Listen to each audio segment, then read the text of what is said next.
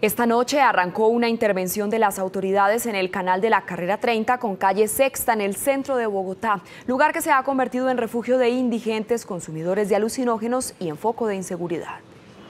100 funcionarios de la policía y de la alcaldía local de Los Mártires se tomaron esta noche el caño de la calle Sexta, lugar en el que permanecen cientos de habitantes de calle tras la intervención del Bronx.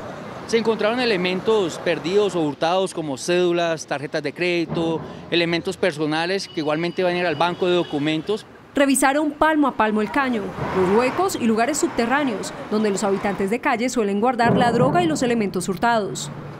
Esto que ustedes ven aquí, alrededor de 6 toneladas de basura, colchones, muebles y todo tipo de enseres, es el resultado de los cambuches desmontados hoy en el operativo en el caño de la calle Sexta lo que hacemos es desbaratar cambuches, hacer control de habitante de calle, hacerle la oferta institucional para que ellos acepten la ayuda que les da el distrito.